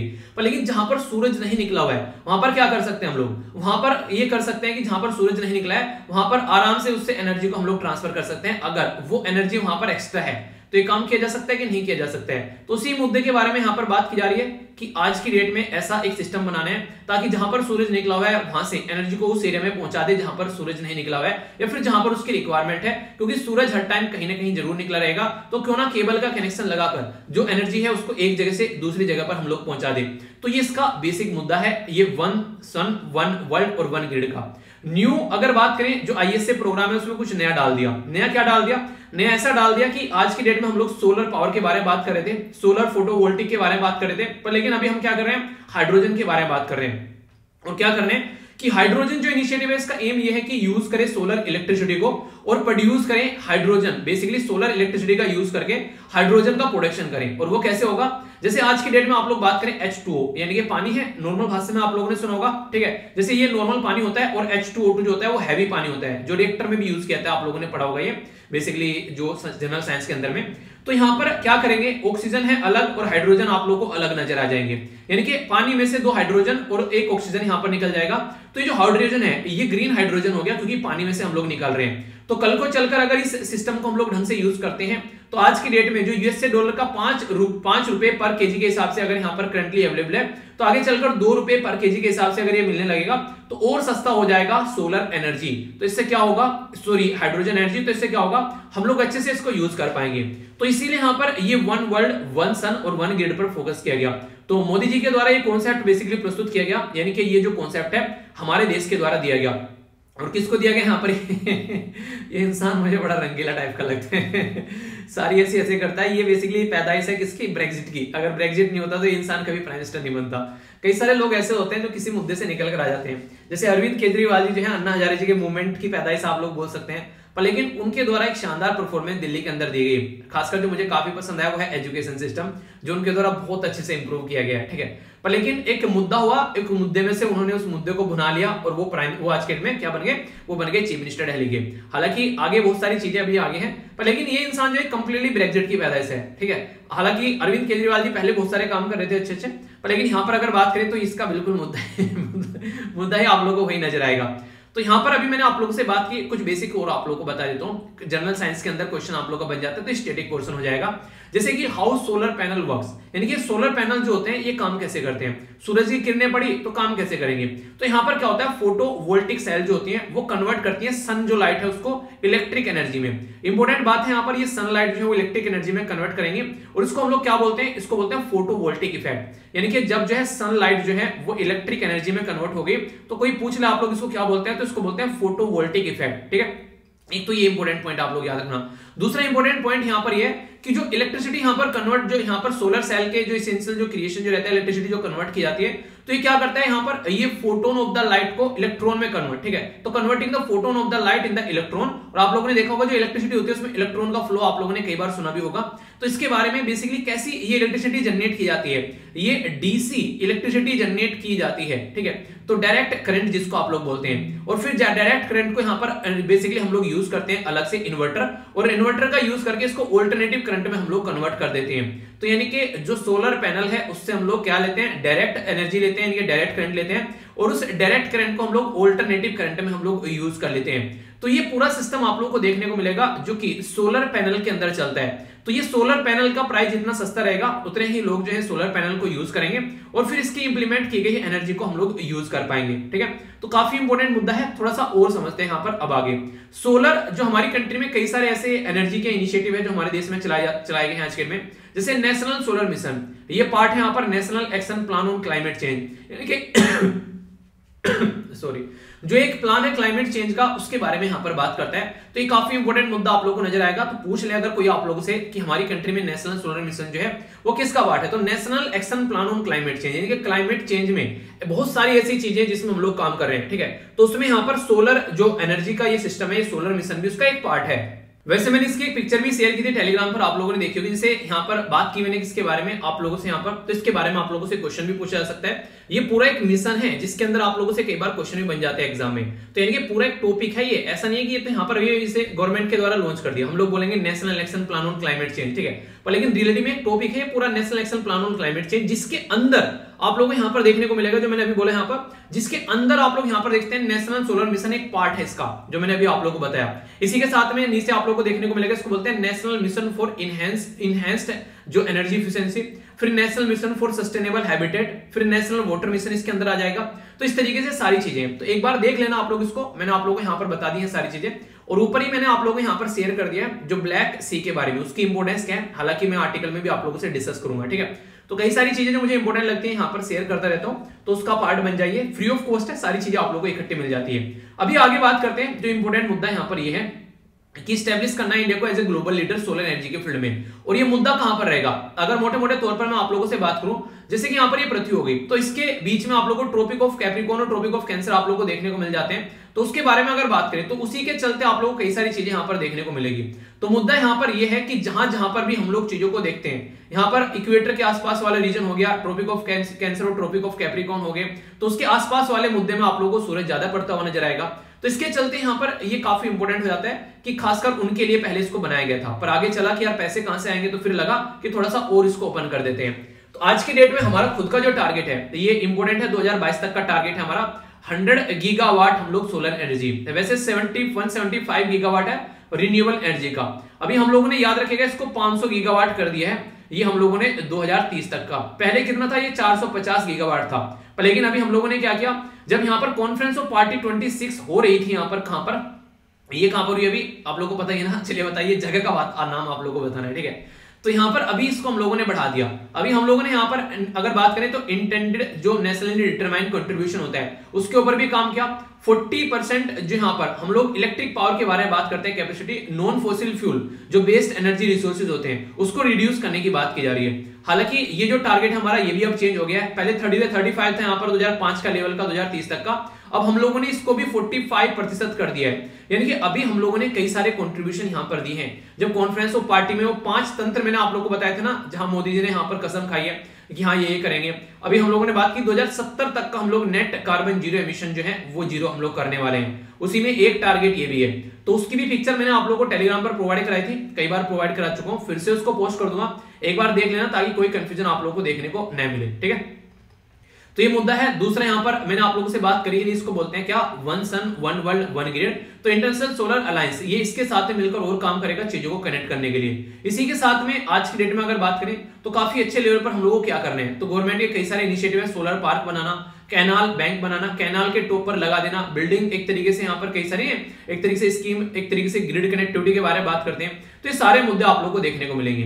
फ़र्स्ट ग्रीन हाइड्रोजन मोबिलिटी जो प्रोजेक्ट है, उसके बारे में भी आप लोग याद रखते हैं। तो नेशनल थर्मल पावर कॉर्पोरेशन जो है, जिसको एनटीपीसी आप लोग बोलते हैं, उसके द्वारा ये रिन्यूएबल एनर्जी का देखने को मिलता है। और ग्रीन हाइड्रोजन मैंने आप लोगों को बताया दिया, इसमें सोलर एनर्जी का यूज़ किया जाएगा, इसको बेसिकली इंप्लीमेंट करने के लिए। तो कहने के लिए तो ये एक आर्टिकल था, पर लेकिन इस आर्टिकल में मैंने आप लोगों को यूएनजीए के बारे में बता दिया UN general assembly international solar alliance के बारे में बता दिया। इसी के अंदर मैंने आप लोगों को वन वर्ल्ड वन ग्रिड ये one sun one world one grid के बारे में बता दिया। तो इसी के चलते मैंने आप लोगों को यहाँ पर एक जनरल साइंस का कॉन्सेप्ट भी बता दिया, जिसमें आप लोग सोलर जो पैनल है वो कैसे काम करते हैं। तो कहने के लिए एक था टॉपिक इसी के चलते मैंने आप लोगों को यहाँ पर यह भी बता दिया कि नेशनल जो नेशनल इलेक्शन क्लाइमेट जो ये चेंज किया है बेसिकली पूरा ये पैटर्न भी बता दिया मैंने आप लोगों को। तो एक ही आर्टिकल है कहने के लिए, पर लेकिन इस आर्टिकल में से मैंने पाँच छह आप लोगों के टॉपिक कवर करा दिए, ठीक है? तो बेसिक मुद्दा ये रहता है कि अब यहाँ से पुराने टाइम में कई सारे क्वेश्चन पूछे जा चुके हैं। अब आगे भी क्वेश्चन पूछ लेंगे तो आप लोग कंफ्यूज नहीं होना है, ठीक है? तो ये था पूरा कंप्लीट आर्टिकल अब आगे बढ़ेंगे, ठीक है? आइए, आगे चलते हैं नेक्स्ट आर्टिकल की ओर। और वो काम आप लोग मत भूला करो जो मैंने आप लोगों को बोला था। अगर वीडियो आप लोगों को पसंद आती है तो अपना प्यार ज़रूर दिखाया करो, उसको लाइक कर कर। अगर पसंद नहीं आते तो रिपोर्ट करने का बटन रहता है, जैसे सब रिपोर्ट कर रहे हैं ना उसको। तो आप लोग भी रिपोर्ट किया करो कि गलत कंटेंट है, ताकि ये चीज़ें जो है आगे नहीं बढ़े, अगर आप लोगों को लगता है। और अगर अच्छी लगती है तो उसको आप लोगों को सपोर्ट करना है। लाइक कर कर आप लोग सपोर्ट दे सकते हैं, ताकि ज़्यादा से ज़्यादा जो है यहाँ पर यूट्यूब को पता चले कि ये वीडियो जो है वो अच्छी है। उसी के साथ में ज़्यादा से ज़्यादा लोगों तक आप लोग इसको शेयर कर सकते हैं। तो वो आप लोग को ज़रूर करने हैं। जब भी आप लोग वीडियो देखते हैं, उसको आप लोग ज़रूर किया करो बेसिकली ठीक है? और अपना प्रेजेंस दिखाया करो वीडियो के नीचे आते हैं कि हाँ आप लोगों ने ये वीडियो देखी है, ठीक है? तो उसमें आप लोग जो भी क्वेश्चन आप लोगों से पूछता हूँ, उनका आंसर दे सकते हैं। कई सारे बच्चे क्वेश्चन पोस्ट करते हैं, कई सारे बच्चे जो हैं, खुद जो है यहाँ पर एक तरीके से अपनी कोटेशन पोस्ट करते हैं। तो जो भी आप लोगों को सुटेबल लगता है, कई सारे प्रेजेंट लिखते हैं ओनली आकर। तो अपनी प्रेजेंस भी दिखाया करो और इसी के साथ में लाइक और शेयर ज़रूर किया करो, ताकि ज़्यादा से ज़्यादा यूट्यूब को पता चले कि ये जो वीडियो बनाई जा रही है, ये सही वीडियो है, इनमें कुछ गलत नहीं है ओके बात करूँगा आगे यहाँ पर इंडोनेशिया के बारे में तो इंडोनेशिया में यहाँ पर एक पर्टिकुलर एरिया है एक पर्टिकुलर माउंटेन है जिसको बोलते हैं बेसिकली यहाँ पर माउंट सेमेरू ठीक है तो माउंट सेमेरू में अभी यहाँ पर ज्वालामुखी फटा एग्जैक्ट लोकेशन भी आप लोग यहाँ पर देख सकते हैं माउंट सेमेरू की आप लोग यहाँ पर देखने को मिलेगी ये यहाँ पर आप लोग के सामने है ठीक है तो ये इंडोनेशिया के अंदर तो ये पूरा पर्वत है जो आप लोग यहाँ पर दिख रहा है तो यहाँ पर अभी क्या हुआ यहाँ पर ज्वालामुखी फटा तो इस ज्वालामुखी फटने की वजह से आसपास के कई सारे लोगों की जान चलेगी। क्योंकि आप लोगों को पता है, ज्वालामुखी जब फटता है तो उसमें से लावा निकल कर आता है, ये सारी चीज़ें आप लोगों को देखने को मिलेगी। पहले आप लोग समझिए, जैसे पृथ्वी के अंदर जब रहता है यहाँ पर पूरा ये गर्म, बिल्कुल ही लाल लाल जो पूरा पदार्थ है यहाँ पर ये तो इसको आप लोग क्या बोलते हैं? इसको आप लोग मैग्मा बोलते हैं, ठीक है? इनसाइड द अर्थ जब ये मेटीरियल रहता है, ठीक है? तो जब ये इनसाइड द अर्थ से जब ये बाहर निकलकर ये सतह पर आता है और ये बहता बहता जब चलता है तो आसपास वाले एरिया में कई सारे जो लोग हैं उनको चपेट में लेकर जाता है। जिसके सोचो कि कोई इंसान इसके नीचे आ गया तो उसकी हड्डियाँ भी वहीं गला देगा, इतना गर्म ये पदार्थ आप लोगों को देखने को मिलेगा। तो लावा होता है on the top of earth जब ये इनसाइड द अर्थ होता है तो उसको मैग्मा बोलते हैं। तो ये एक ही पदार्थ है, बस इसका नाम अलग अलग दे दिया है अलग अलग जगह पर, ठीक है? जैसे घर में आप लोग को चुन्नू मुन्नू टुन्नू गुन्नू बोलते हैं और बाहर आते हैं आप लोग के सामने बकायदा रिस्पेक्ट लग जाती है नाम के सामने, ठीक है? तो वही सारी चीज़ें यहाँ पर देखने को मिलेगी। तो यहाँ पर इस तरीके से, उसी तरीके से आप लोग समझ सकते हैं। तो लोकेशन क्या बताया मैंने आप लोगों को? ये लोकेशन बताया मैंने इंडोनेशिया के अंदर में। तो इंडोनेशिया में अभी यहाँ पर लगभग चौदह लोगों की यहाँ पर जान चलेगी। तो ये लास्ट टाइम जो था, पहले भी दिसंबर 2020 में भी ये बेसिकली फटा था और अब फिर से दिसंबर में फटा। तो यानी कि इसका महा, एक माहौल बन गया कि एक साल के अंदर ये फट रहा है आज के डेट में। तो इसके चलते जो इंडोनेशिया वासी हैं, उनको काफ़ी ज़्यादा प्रॉब्लम यहाँ पर झेलनी पड़ जाती है जब कोई ऐसी दिक्कतें देखने को मिलती है, क्योंकि आप लोगों को देखने को मिलेगा कि कहीं पर इस तरीके से पर्वत फट रहे हैं तो फिर प्रॉब्लम निकल कर आती है ना, खासकर आसपास वाले एरिया में काफ़ी सारी दिक्कतें देखने को मिल जाती है। लोकेशन ज़रूर याद रखेगा अपनी कंट्री कंपेयर में, यहाँ पर अपनी कंट्री होकर यहाँ पर इंडोनेशिया आप लोग को देखने को मिल रहा है, ठीक है? ये कैसे घूम गया? एक सेकेंड तो ये होगी अपनी कंट्री की लोकेशन ठीक है? तो एक्जैक्ट लोकेशन आप लोग यहाँ पर देखते हैं और यहाँ से आप थोड़ा सा नीचे आएँगे तो ये आप लोग को इंडोनेशिया यहाँ पर देखने को मिलेगा। तो एक्जैक्ट जो लोकेशन है वो मैंने आप लोगों को यहाँ पर बताई तो इसका लोकेशन आप लोग ज़रूर याद रखिएगा। तो यहाँ पर जो सेमेरू है, इसको आप लोग ग्रेट माउंटेन के नाम से भी जानते हैं। ये वोल्केनो जो है, ये कहाँ पर पड़ता है? जावा तो जावा यहाँ पर आइलैंड है, जो कि यहाँ पर मोस्ट एक्टिव वोल्केनो आप लोगों को देखने को मिलेंगे। और सुमेरू जो वोल्केनो है यहाँ पर, ये पार्ट है यहाँ पर एक सबडक्शन जो इंडो जो इंडो ऑस्ट्रेलियन जो प्लेट है। ठीक है? खासकर अगर आप लोग बात करें ये सारा सिस्टम आप लोगों को देखने को मिलेगा जब मैं आप लोगों को बात करूँगा किसका? पेसिफिक रिंग ऑफ़ फायर के अंदर में। देखिए पेसिफिक जो रिंग ऑफ़ फायर है, अगर मैं आप लोग को एक बार मैप में थोड़ा सा दिखा दू यहाँ पर तो यहाँ पर आप लोग चीज़ों को अंडरस्टैंड कर पाएँगे। जब यहाँ पर एक सेकेंड ये आप लोग देखिए, ठीक है? तो ये रिंग ऑफ़ फायर बोलते हैं इसको, और यहाँ पर आप लोगों को पेसिफिक ओशन ये देखने को मिलेगा। तो इसके आसपास वाला जो रीजन है यहाँ पर ये ये इतने सारे अर्थक्वेक आप लोग यहाँ पर नज़र आएँगे, इतने सारे वोल्केनो फटते हुए नज़र आएँगे, जिसकी कुछ हद नहीं है। तो इसकी वजह से यहाँ पर इसके बारे में कई बार बोलते हैं कि ये बेल्ट ही एक ऐसे है जिसको रिंग ऑफ़ फायर का नाम रख दिया है। क्योंकि यहाँ पर दुनिया भर के वोल्केनो फटते रहते हैं तो रिंग ऑफ़ फायर और इवन यूपीएससी के मेंस में इसको बोला गया था सरकम पेसिफिक बेल्ट तो इसमें दुनिया भर के आप लोग को अर्थ एक फटते हुए नज़र आएँगे। तो ये माना जाता है कि पिछहत्तर प्रतिशत जो अर्थ के वोल्केनो है, यानी कि यहाँ पर जो ज्वालामुखी फटते हैं धरती के तो पिछहत्तर प्रतिशत दुनिया के ही फटते हैं। और जो नब्बे प्रतिशत जो अर्थ है, वो मैक्सिमम आप लोगों को यहीं पर ही देखने को मिलेंगे, ठीक है? तो ये काफ़ी इंपॉर्टेंट लोकेशन आप लोगों के सामने। दूसरी ऐसी कुछ इंपॉर्टेंट अगर लोकेशन के मैं बारे में बात करूँ, इसके बारे में याद रखते हैं। यहाँ पर इसको बोलते हैं एल्पाइड अर्थक्वेक बेल्ट तो यहाँ पर भी लगभग 17 परसेंट के करीब अर्थक्वेक आप लोग को देखने को मिल जाते हैं। ये बेल्ट क्या है? यहाँ पर इसको आप लोग देखते हैं। ये हिमालयन रीजन से होते हुए, यहाँ से होते हुए, ये पर्टिकुलर लोकेशन आप लोग को देखने को मिलेगी। मेडिटेरेनियन सी से होते हुए। तो इसमें भी ये माना जाता है कि दुनिया भर के यहाँ पर आते हैं। तो दो चीज़ें याद रखेगा। एक को बोलते हैं क्या? एक को बोलते हैं यहाँ पर हम लोग। बेसिकली ये बोलते हैं ring of ring of fire ठीक है? तो सरकम पैसिफिक तो याद रखिएगा सरकम पैसिफिक हो गया यहाँ पर। और यहाँ पर आप लोगों को देखने को मिलेगा क्या? इसको बोलते हैं एल्पाइड अर्थक्वेक बेल्ट ठीक है? तो इसको continental belt mid continental belt के नाम से जानते हैं, जो कि जावा सुमित्रा से होते हुए, यहाँ पर हिमालयन रीजन से होते हुए मेडिटेरेनियन सी से होते हुए, ये अटलांटिक ओशन में जाकर गिर जाता है, ये पर्टिकुलर एरिया तो अभी मैंने आप लोगों से जो बात की तो इसके बारे में आप लोग कोई कंफ्यूजन नहीं होना है। वैसे मैंने इंडोनेशिया के बारे में बात की तो यहाँ पर जकार्ता इसकी कैपिटल है और ये जावा सी भी आप लोग को देखने को मिलता है। तो माउंट सोमेरू जो है, वो आप लोग को एग्जैक्ट लोकेशन यहाँ पर नज़र आएगी। तो कभी कंफ्यूजन आप लोग को नहीं होना चाहिए। इसी के बारे में अदर मेजर वोल्केनो इंडोनेशिया के अंदर फटते हैं, इनको बोलते हैं माउंट मेरापी तो माउंट मेरापी और माउंट सेनाबुंग ये दो अभी आप लोगों को मैं कई बार पढ़ा चुका हूँ। अगर रेगुलर आप लोग लेक्चर सुने तो ये आप लोगों को थोड़ा सा रिकॉल तो हो ही रहा होगा, अगर आप लोग थोड़ा सा भी रिविजन करते हैं तो ठीक है? क्योंकि ये चीज़ें मैं आप लोगों को पढ़ा चुका हूँ और मुझे याद हो जाती है, इतनी बार आप लोगों को पढ़ा चुका हूँ तो ये चीज़ें याद रह जाती हैं फिर, ठीक है? तो ये कुछ बेसिक चीज़ें जिसके बारे में याद रखेगा तो एल्पाइड बेल्ट के बारे में भी आप लोगों से पूछे तो आप लोगों को कंफ्यूजन नहीं होना चाहिए। तो इसलिए मैंने इसके बारे में आप लोगों को इस तरीके से बताया, ठीक है? तो मैप बेस्ड भी क्वेश्चन आप लोग कई बार बन जाता है तो कोई कंफ्यूजन इसको लेकर आप लोग को नहीं होना चाहिए ओके आगे चलते हैं। नेक्स्ट इंपोर्टेंट टॉपिक आप लोगों को यहाँ पर देखने को मिलेगा यूक्रेन के बारे में। तो ये एग्जैक्ट लोकेशन यूक्रेन की आप लोगों के सामने आ गई यहाँ पर। तो यूक्रेन है यहाँ पर, जिसके बारे में हम लोग बात करेंगे। तो कई बार आप लोगों से कई सारे पॉइंट इस तरीके से पूछ ले आते हैं तो कोई कंफ्यूजन आप लोगों को नहीं होना चाहिए। मैप आप लोगों को एक्जैक्ट लोकेशन पता होनी चाहिए, ठीक है? अगर मैप आप लोगों के सामने आता है तो इसलिए बोलता हूँ मैप हमेशा इस तरीके से यूज़ किया करो, ताकि आप लोगों से कोई क्वेश्चन पूछ ले तो कोई कंफ्यूजन आप लोगों को देखने को न मिले।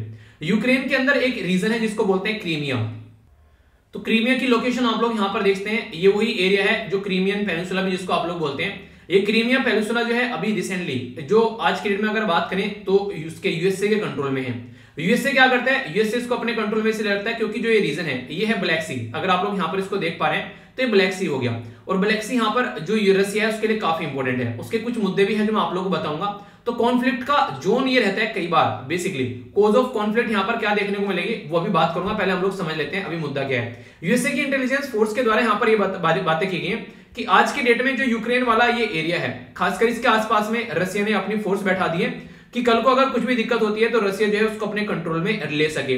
तो इसके चलते जो वेस्टर्न वर्ल्ड है, वो यहाँ पर आज के में इसका साथ देने के लिए आ गया और बोल रहा है कि ये गलत कर रहा है, इस तरीके से इसको ये ऐसी हरकतें नहीं करनी चाहिए। तो ये वेस्टर्न वर्ल्ड ये बोल रहा है। तो यूक्रेन और रसिया के बीच में हालाँकि कई सारी टाइज है। क्यों? क्योंकि रसिया जो है रसिया का बच्चा ही है यूक्रेन क्योंकि पहले यूएसएसआर हुआ करता था, ठीक है? उसमें से कईयों सारी कंट्री अलग हो गई छोटी छोटी बढ़ गई तो उसके चलते यहाँ पर ये चीज़ें देखने को मिलेगी। तो अभी फ़िलहाल ये माना जा रहा है कि बॉर्डर पर रसिया के द्वारा 90,000 के करीब ट्रूप्स यहाँ पर बैठा रखे हैं इस पर्टिकुलर रीजन में। पर लेकिन रसिया जो है वो इस चीज़ को डिनाई करता है कि ऐसा कुछ नहीं है भाई साहब ये फालतू की चीज़ें आप लोग मत बोलो। तो सोवियत यूनियन का ये बेसिकली पार्ट हुआ करता था पहले यहाँ पर आज के में एक अलग कंट्री है। तो वर्ल्ड क्या है यहाँ पर इसको? जैसे जी सेवन कंट्री के बारे में मैंने बात की तो वो भी यहाँ पर इसको लेकर काफ़ी ज़्यादा मुद्दे पर है। अभी नेटो के बारे में जब हम लोग बात करते हैं नॉर्थ अटलांटिक ट्रिटी ऑर्गेनाइजेशन बोलते हैं इसको। इसका मेंबर बनने के चक्कर में है यूक्रेन अगर यूक्रेन इसका मेंबर बन जाता है तो ये बेसिकली दिक्कत हो जाएगी किसके लिए? रशिया के लिए। क्यों? क्योंकि नेटो के जो मेंबर है, उसमें यह माना जाता है कि अगर नेटो के किसी मेंबर को किसी ने हाथ लगाया तो इसका मतलब बाहुबली की तलवार को हाथ लगा दिया, अगर देवसेना को किसी ने छुआ। तो वही मुद्दा आप लोगों को यहाँ पर देखने को मिलेगा, एक मेंबर को छूने का मतलब है पूरे नेटो मेंबर को हाथ लगा देना, और फिर मधुमक्खी के छत्ते में हाथ दे दिया तो इसका मतलब अब तो अब अब चीज़ें जो है वो खराब होने वाली है। तो ऐसा मुद्दा देखने को मिलता है। तो कॉन्फ्लिक्ट का जोन इसको माना जाता है, उसके कई सारे रीजन है। सबसे पहला तो मुद्दा यहाँ पर यह माना जाता है कि इसको बैलेंस ऑफ़ पावर की तरीके से देखा जाता है। बैलेंस ऑफ़ पावर का मतलब क्या हो गया? एक तरीके से अगर आप लोग समझे यहाँ पर तो एक एक पॉइंट में आप लोग बता दो, तब आप लोग ढंग से समझ पाएँगे। आज की डेट में अगर बात करें यहाँ पर, जो यूक्रेन है, ठीक है? यूक्रेन जो है, वो सोवियत यूनियन से अलग हुआ। तो यहाँ पर जो वेस्टर्न वर्ल्ड है और जो रशिया है, वो दोनों चाहते हैं कि इसके ऊपर इन्फ्लुएंस रहे। तो यहाँ पर एक बैलेंस बनाकर रखना काफ़ी ज़्यादा ज़रूरी है, ताकि यहाँ पर आराम से शांति रहे। तो एक तो ये मुद्दा आप लोगों को देखने को मिलेगा। इसको बफर जोन भी बोला जाता है वेस्टर्न कंट्रीज़ के द्वारा। बफर जोन मतलब जो यूक्रेन वाला ये एरिया है, इसी ऐसा देखने को मिलता है आज के डेट में कि यहाँ पर खासकर जो यूरोपियन और जो यूएसए है, वो इसको ऐसे देखता है कि यहाँ पर एक ऐसा एरिया है जहाँ पर जो रसिया को क्रॉस नहीं करना है, यहीं पर ही रसिया को रुक जाना है। इसके आगे रसिया को नहीं बढ़ना है। तो इस तरीके से इसको बफर जोन की तरीके से देखते हैं। रसिया का काफ़ी ज़्यादा इंटरेस्ट है यहाँ पर ब्लैक सी में। अगर मैं आप लोगों को रसिया के इंटरेस्ट के बारे में बताऊँ तो मैंने बोला ना इसको टेलीग्राम पर मैंने शेयर भी किया है। तो रसिया का इंटरेस्ट अगर आप लोग देखना चाहते हैं तो ये ऊपर ही मैंने यहाँ पर शेयर कर रखा है। जैसे रसिया के इंटरेस्ट के बारे में अगर आप लोगों से कोई बात करें तो यहाँ पर काफ़ी बड़ा इंटरेस्ट तो रसिया का ये है यहाँ पर कि जो ये ब्लैक सी है, इसके अलावा कोई भी ऐसा एरिया रसिया के पास में नहीं है जहाँ पर जो इसके पोर्ट्स हैं, जहाँ पर इसके हवाई जहाज़, पानी के जहाज़ जाते हैं, वो चल सके। रीजन क्या है? सब जगह मैक्सिमम टाइम आप लोगों को देखने को मिलेगा, बर्फ़ जमी रहती है। तो बर्फ़ जमी रहती है, वहाँ पर जहाज़ चलना आसान नहीं है। तो ये पानी रहता है तो यहाँ पर इसके जहाज़ आराम से चल जाते हैं। तो इसकी वजह से इसका गुड्स और सप्लाई जो है, वो आसानी से यहाँ से सप्लाई होता है और एक कनेक्टिविटी पूरे एंटायर वर्ल्ड के साथ में इसकी बनी रहती है। तो ब्लैक सी इसीलिए रसिया के लिए काफ़ी इंपॉर्टेंट है और रसिया जो है ब्लैक सी से अगर कनेक्ट करता है तो फिर यहाँ पर सारी दुनिया के साथ में आसानी से यहाँ पर ये अपने कॉन्टैक्ट बना सकता है। तो इसलिए रसिया जो है उसको काफ़ी ज़्यादा एग्रेशन के वे में देखता है, ठीक है? जब ब्लैक सी के बारे में बात करते हैं। प्रोटेस्ट क्यों चलता है यूक्रेन के अंदर में? क्योंकि अगर बात करें यहाँ पर, बात की जा रही है, कई सारे मूवमेंट भी आप लोगों को देखने को मिलते हैं, ठीक है? इसके, इस मुद्दे को लेकर यहाँ पर, जैसे मैंने बताया यहाँ पर यूरो मेडियन मूवमेंट तो यूरो मेडियन मूवमेंट जो है यहाँ पर, इसको बेसिकली एक तरीके की वेव यहाँ पर डेमोस्ट्रेशन किया गया। एक सिविल अनरेस्ट देखने को मिला 2013 के अंदर में। पब्लिक प्रोटेस्ट कर रहे थे यहाँ पर इंडिपेंडेंस के लिए एक तरीके से। यानी कि एक तरीके से आप लोग बोल सकते हैं यहाँ पर लोग जो है काफ़ी लार्ज स्केल पर यहाँ पर एक इंडिपेंडेंस सॉरी एक इंडिपेंडेंस स्क्वायर करके यहाँ पर पर्टिकुलर एक एरिया वहाँ पर प्रोटेस्ट कर रहे थे, ठीक है? तो बेसिकली क्या चलता है? यूनियन जो आज की डेट में देखिए, कई सारे लीडर आते हैं देश के अंदर में, ठीक है? तो कई सारे लीडर आते हैं तो उनको लोग जो है उससे पक जाते हैं तो कुछ ऐसी कंडीशन यहाँ पर देखने को मिलती। तो इस तरीके से यहाँ पर कई बार प्रोटेस्ट भी रहते हैं। सेपरेटिस्ट मूवमेंट यहाँ पर चलते रहते हैं, कई बार आप लोग को देखने को मिलेगा, ठीक है? प्रो रशियन क्यों? क्योंकि पहले रशिया का पार्ट थी तो इसलिए प्रो रशियन चीज़ें चलेंगी चलेंगी यहाँ पर। तो वो वाला मुद्दा देखने को मिलता है। इसी के साथ में जब इन्वेजन किया गया क्रीमिया का रशिया के द्वारा तो वो मुद्दा देखने को मिला। और यूक्रेन जो है, वो नेटो की मेंबरशिप के लिए अप्लाई करने की कोशिश कर रहे हैं, ताकि कल को चलकर वो भी दिक्कतें देखने को न मिले, जो आज के में यहाँ पर दिक्कतें सामने निकल कर आ रही है। तो पूरा मुद्दा घुमा फिराकर ये है कि ये चाहते हैं कि शांति बनी रहे यहाँ पर और इसके चलते कई सारे एग्रीमेंट भी इनके द्वारा किए गए हैं। जैसे अगर आप लोगों से कोई ये तो पूछेगा नहीं मिनसक फ़र्स्ट और मिनसक सेकंड क्या है? पर हाँ आप लोगों से पूछ सकता है कि एग्रीमेंट किससे रिलेटेड है यहाँ पर ये। तो यूक्रेन और रशिया के बीच में बेसिकली शांति बनाए रखने के लिए यहाँ पर ये एग्रीमेंट 2014-2015 में आप लोगों को देखने को मिले। इसको मिनसक पीस एग्रीमेंट के नाम से भी आप लोग जानते हैं। तो डायरेक्ट क्वेश्चन आप लोग, आप लोगों से बन जाए तो कंफ्यूज मत होना इसके बारे में। तो जो पहला था यहाँ पर, ये यूक्रेन और रशिया के द्वारा बैक्ट किया गया, ठीक है? इसके ऊपर बारह पॉइंट के ऊपर ये एग्री हुए सीज फायर वो सारी चीज़ें बोलने वाली बातें होती है इंडिया और पाकिस्तान भी कई बार ऐसे एग्रीमेंट कर चुके हैं। पर लेकिन इंप्लीमेंट क्या होता है, वो हम लोगों को भी पता है, ठीक है? दूसरी बात साइन किया गया रशिया यूक्रेन और ओएस यहाँ पर ओएससीई लीडर्स थे अलग अलग प्रो रशियन सेपरेटिस्ट रीजन तो कई सारे लोगों के द्वारा साइन किया गया। पर लेकिन रियलिटी में जो है यहाँ पर ये चीज़ें देखने को नहीं मिली कि हाँ इंप्लीमेंट कैसे हो रही है। क्योंकि अभी भी झड़प हो रही है तो इसका मतलब काम नहीं हुआ वो। इसी के साथ में यहाँ पर ये मुद्दे आप लोग यहाँ पर निकल कर आते हैं। तो जो मैंने बोला ना यहाँ पर ऑर्गेनाइजेशन यहाँ पर ये लिखा है ओएससी तो उसको बोलते हैं organisation for security and cooperation in Europe तो यूरोप वाले रीजन में कैसे शांति बनाकर रखनी है? तो ये फ़र्स्ट अगस्त 1975 में बनाई गई थी। तो ये भी यहाँ पर इसका पार्ट बनी, पर लेकिन रिज़ल्ट कुछ देखने को नहीं मिला, ठीक है? और ये सारा खेल कहाँ पर खेला जा रहा है? सारा खेला ये ये सारा खेला खेला जा रहा है ब्लैक सी के अंदर में। तो इस खेले को अगर आप लोग देखोगे तो यहाँ पर ब्लैक सी जो है वो ईस्टर्न यूरोप और वेस्टर्न एशिया के बीच में आप लोग को एक पर्टिकुलर रीजन नज़र आएगा, ठीक है? जिसके चलते यहाँ पर ये सराउंडेड है पर्टिकुलर माउंटेन रेंज है, कई सारी, जैसे पोन्टिक हो गया, ठीक है? कॉकस एक तरीके से क्रीमिया माउंटेन ये कई सारे रीजन देखने को मिलेंगे। इंपॉर्टेंट मुद्दा अगर बात करें तो सी ऑफ़ एजोव जो है, वो यहाँ पर कनेक्ट होता है इसके साथ में स्टेट ऑफ़ क्रैच के साथ में। ये सी ऑफ़ एजोव आप लोग को देखने को मिलता है और यहाँ पर स्टेट ऑफ़ क्रैच है। इसके साथ में मिलकर यहाँ पर ये ब्लैक सी के साथ में आकर मिल जाता है। इसी के साथ में यहाँ पर डार्डनलीज आप लोगों को पर्टिकुलर एरिया देखने को मिलेगा एग्जैक्ट यहाँ पर। तो ये तुर्किस स्टेट यहाँ पर आप लोगों को देखने को मिलेगा, जिससे यहाँ पर आगे चलकर ये मामरा सी, ठीक है, मार, मारमारा सी यहाँ पर आप लोगों को नज़र आएगा ये पर्टिकुलर लोकेशन और फिर यहाँ से जब आगे चलते हैं तो ये आगे चलकर यहाँ पर एजेनियन सी और यहाँ से चलकर ये मेडिटेरेनियन सी का पार्ट बन जाता है. ब्लैक सी के बारे में एक इंटरेस्टिंग चीज़ आप लोग ये याद रखेगा एब्सेंस ऑफ़ ऑक्सीजन भी यहाँ पर कई बार देखने को मिलती है वाटर के अंदर, इसलिए इसको एनोक्सिक वाटर का नाम भी दिया जाता है. बाकी कंट्री कौन कौन सी इसके पास में? तो रसिया, यूक्रेन, जॉर्जिया, तुर्की, बुल्गारिया और रोमानिया। ये कई बार क्वेश्चन आप लोगों से पूछे गए तो कंफ्यूज आप लोगों को नहीं होने। ये काफ़ी इंपॉर्टेंट मैप है, जो कि आप लोग कई बार में दिखा भी चुका हूँ, और अब तो इसके आसपास की कंट्री आप लोगों को याद भी हो जानी चाहिए। क्योंकि कई बार ऐसे क्वेश्चन अभी एग्ज़ाम में रिसेंटली आप लोगों से पूछे गए। रिपीटेडली क्वेश्चन पूछे आते हैं, फिर बोलते हैं क्वेश्चन कहाँ से बन गया। तो अगर थोड़ा सा भी ध्यान से सुनोगे तो क्वेश्चन तो नहीं छूटने दूँगा। ये तो मैं आप लोग गारंटी लेता हूँ, पर थोड़ा सा ध्यान से सुनना पड़ेगा। रिविजन करना पड़ेगा हल्का सा, ठीक है? तो रिविजन करते रहिए और आगे बढ़ते रहिए ओके आगे चलते हैं। नेक्स्ट इंपोर्टेंट मुद्दा जो निकल कर आया है, ये मुझे पर्सनली काफ़ी इंपोर्टेंट लगा। नॉर्मली अगर बात करें तो आज के डेट में हमारी कंट्री में जम्मू एंड कश्मीर में जो भी होता है तो पाकिस्तान जो है उसके ऊपर बराबर कमेंट करता है, कभी पीछे नहीं हटता है।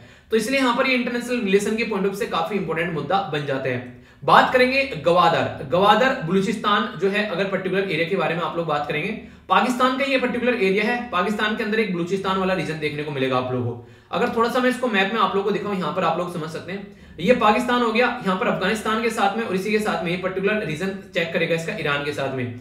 तो ये बलूचिस्तान वाला रीजन देखने को मिलेगा। ये इंटरेस्टिंग चीज़ इसके बारे में है, जैसे जब हमारा देश आज़ाद हुआ तो जम्मू एंड कश्मीर वाला जो रीजन था, उससे पूछा गया ब्रिटिश गवर्नमेंट के द्वारा कि भाई साहब, आप पाकिस्तान के साथ में जाकर मिलोगे या फिर आप लोग इंडिया के साथ में जाकर मिलोगे? तो हरि सिंह जी था, उनके द्वारा बोला गया कि भाई साहब, हम लोग इंडिपेंडेंट रहेंगे। पर लेकिन हमने बोला कि ठीक है यार इंडिपेंडेंट रहने में कोई दिक्कत नहीं है। पर पाकिस्तान थोड़ी ना मानने वाला था। पाकिस्तान ने वहाँ पर बेसिकली अटैक कर दिया 1947 में ही, ठीक है? तो उसकी वजह से हरि सिंह जो है वो आए बेसिकली हमारी कंट्री गवर्नमेंट के पास में। तो बोला, यार, ये तो मान ही नहीं रहे पाकिस्तान वाले। तो हमको सपोर्ट करो तो उन्होंने बोला, पहले आप लोग जो इंस्ट्रूमेंट ऑफ़ एक्सेशन जो एग्रीमेंट है, उसको साइन करो। फिर हम तुम्हारी हेल्प करेंगे। तो इंडिया ने जो है उनकी हेल्प कर दी। तो फिर चीज़ें चलो नॉर्मल हो गई। हालाँकि नॉर्मल हुई नहीं। मतलब वो हमारा पार्ट बन गए, पर लेकिन आज तक पार्ट बने नहीं। कुछ पार्ट जो है वो पाकिस्तान पकड़ के बैठ गया।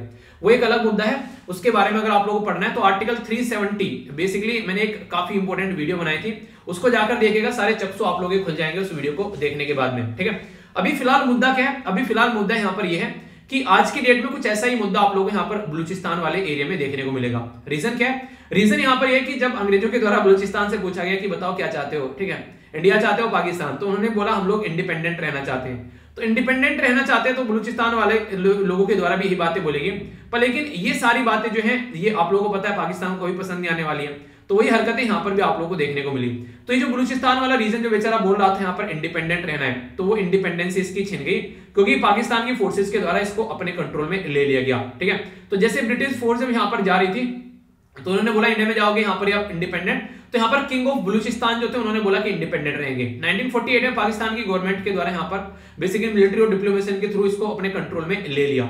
और यहाँ पर लैक ऑफ़ जो आप लोगों को देखने को मिलेगा डेवलपमेंट और ह्यूमन राइट का वोलेशन काफ़ी ज़्यादा होता है। इंसर्जेंसी काफ़ी ज़्यादा देखने को मिलती है। और यहाँ पर आज की डेट में काफ़ी लार्ज स्केल पर कई सारे प्रोटेस्ट भी होते रहते हैं। और यहाँ पर क्या बोलता है पाकिस्तान? पाकिस्तान हमेशा ये बोलता है कि इंडिया यहाँ पर प्रोटेस्ट कराते रहते हैं। मतलब हमारे पास में कुछ अच्छे काम नहीं है, बस यही छोड़ के हम लोग यहाँ पर इनके प्रोटेस्ट को, हम लोग बेसिकली यहाँ पर लोगों को प्रोटेस्ट कराएँगे।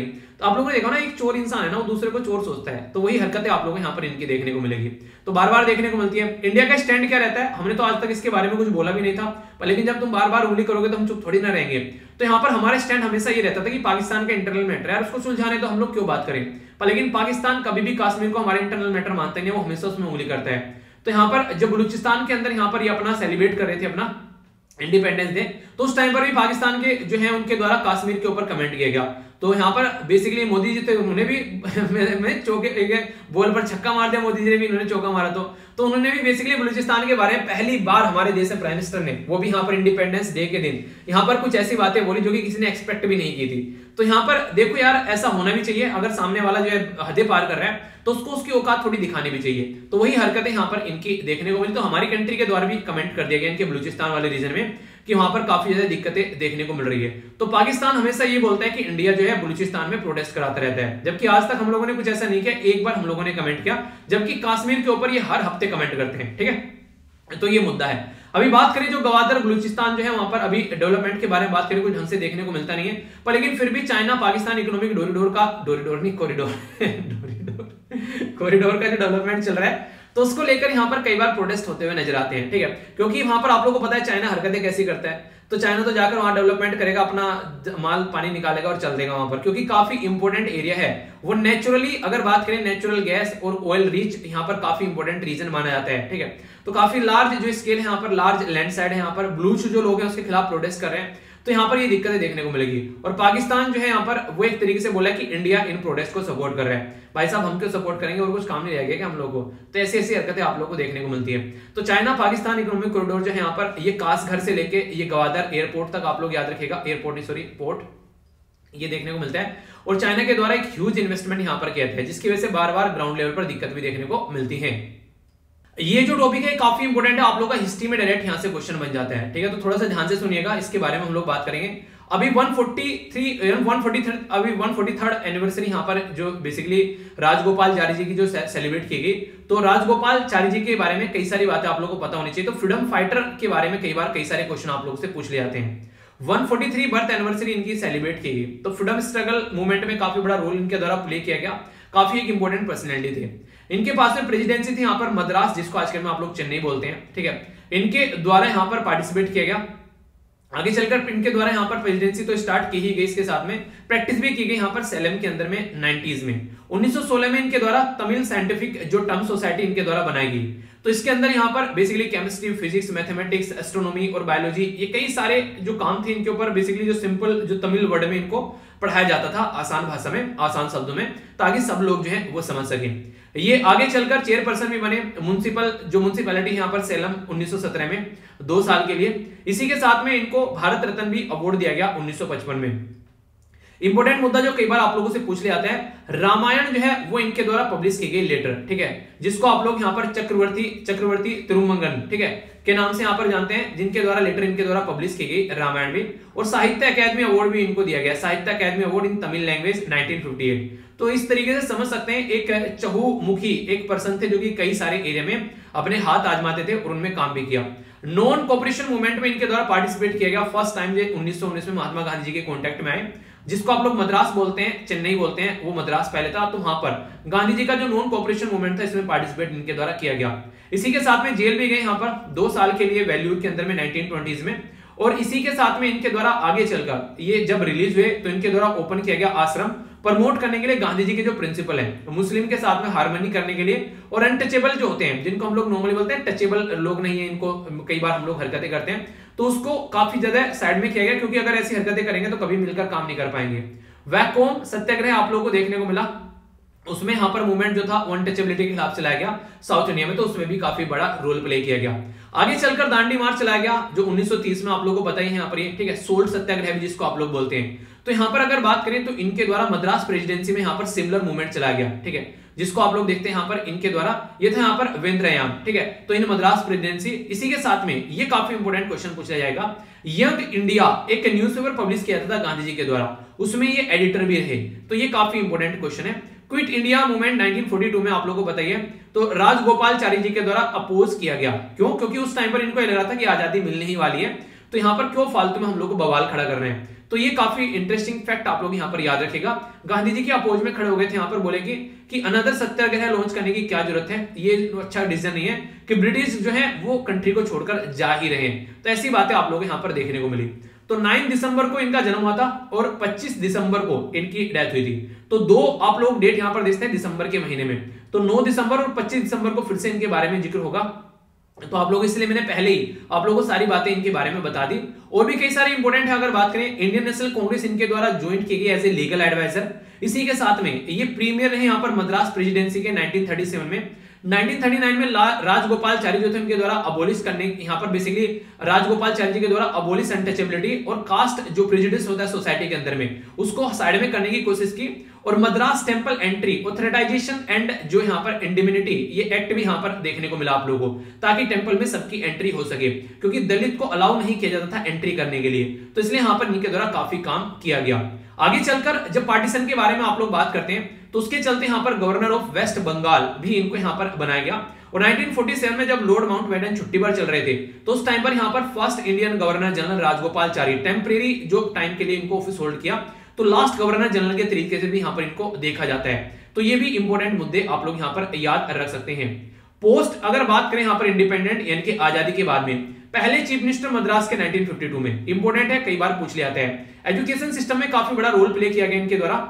और जो काफ़ी कंट्रोवर्शियल रीजन रहा इनका वो था कि हिंदी को कंपलसरी कर दिया तमिलनाडु के स्कूल में, जिसके चलते काफ़ी प्रोटेस्ट हुआ और इनको अपनी पोस्ट से जो है वो रिजाइन भी देना पड़ गया।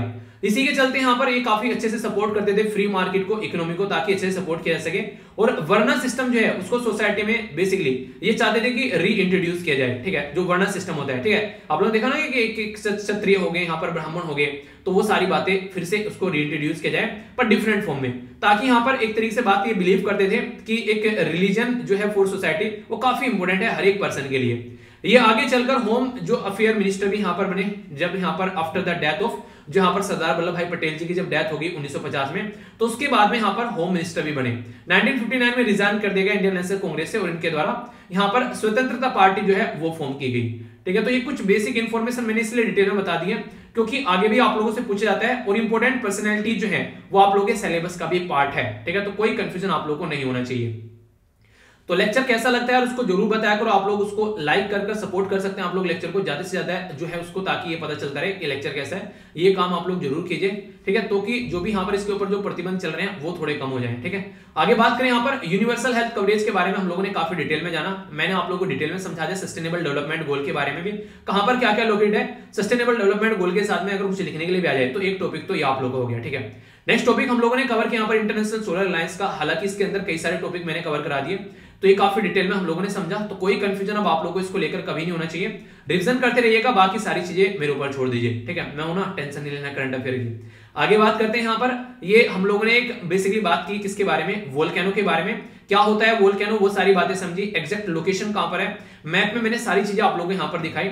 और इसी के साथ में मैंने यहाँ पर दो चीज़ें और कवर की। पैसिफिक जो बेल्ट होती है, उसी के साथ में यहाँ पर जो एल्पाइड बेल्ट है, उसके बारे में मैंने आप लोगों से बात की। ठीक है? तो ये इंपॉर्टेंट टॉपिक हम लोगों ने कवर किया। इसी के साथ में हम लोगों ने यहाँ पर यूक्रेन वाला मुद्दा काफ़ी देखा। ये आज के ही न्यूज़पेपर में था, इसलिए मैंने इसको आप लोगों को ढंग से बताया। और यूक्रेन को मैप में भी हम लोगों ने देखा। सी जो ब्लैक सी को देखा सी ऑफ़ अजोव कहाँ पर है क्या क्या चीज़ें पूरा डिटेल में बताया। बलूचिस्तान वाला मुद्दा था काफ़ी डिटेल में हम लोगों ने यहाँ पर इसको देखा क्या क्या लोकेशन है और इंडिया की क्या स्टैंड है और यहाँ पर इसकी हिस्ट्री क्या है, थोड़ी सी वो भी हम लोगों ने यहाँ पर समझी। और सीराज गोपाल जी के बारे में मैंने आप लोगों से डिटेल में बातें की, ठीक है?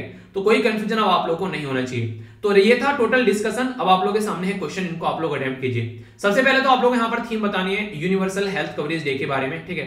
इंटरनेशनल सोलर अलायंस के बारे में आप लोगों से बात की यहाँ पर। आप लोगों को बताना है किसका ये बेसिकली ऑब्जर्वर स्टेटस यहाँ पर लेने जा रहा है। ठीक है? ये यहाँ पर कहाँ पर है? माउंटेन जो वोल्केनो भी फटा, ये आप लोगों को बताना है। एल्पाइड अर्थक्वेक कितने प्रतिशत यहाँ पर आप लोगों को देखने को मिलते हैं? इसके अंदर भूकंप, ये बताना था। आरटीएस यहाँ पर कहाँ पर है? ये आप लोगों को बताना है, ठीक है?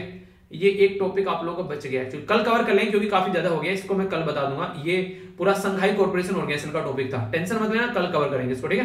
क्योंकि ज़्यादा लंबी वीडियो होगी उल्टी तो एक घंटे के अंदर ही रखते हैं। तो न्यूज़पेपर यहाँ पर ये यंग इंडिया के बारे में बताना है। सिराज गोपाल जारी जी के बारे में बातें की। भारत रत्न कब मिला?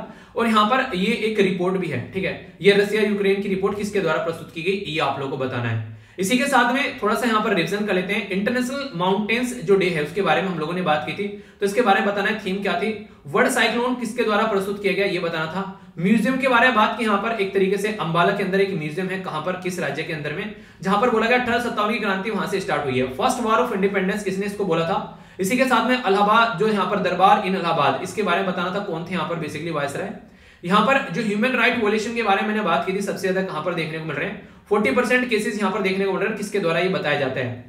पॉपुलेशन के बारे में बात करें तो कितनी अर्बन और कितनी रूरल एरिया में पॉपुलेशन पाई जाती है, ये आप लोगों को बताना था। जीडीपी में कंट्रीब्यूशन के बारे में हम लोगों ने बात की थी सर्विस सेक्टर इंडस्ट्री और एग्रीकल्चर की, वो आप लोगों को पता होनी चाहिए आंसर राइटिंग भी यूज़ कर सकते हैं। पूरा का कॉन्सेप्ट किसके द्वारा दिया गया था? ये बातें मैंने आप लोगों से की थी। दोनों लेक्चर का मिलाकर कंबाइंड ये बेसिकली क्विज था आप लोगों का, जो कि आप लोगों का फ्राइडे और सैटरडे में आया था, ठीक है? सॉरी सैटरडे और संडे में आया था। तो दोनों का कंबाइंड क्विज था क्योंकि बहुत सारे आर्टिकल्स वहाँ पर मैंने कवर किए थे, ठीक है? तो सस्टेनेबल माउंटेन टूरिज़्म के बारे में हम लोगों ने बात की, इसकी थीम थी, ठीक है? हेनरी यहाँ पर पिडिंगटन ठीक है? इनके बारे में याद रखेगा। हरियाणा गवर्नमेंट बोलिए अठारह की क्रांति यहाँ से स्टार्ट हुई थी। विनायक दामोदर सावरकर के बारे में याद रखेगा, अठारह में फ़र्स्ट वॉर ऑफ़ इंडिपेंडेंट इन्होंने बोली।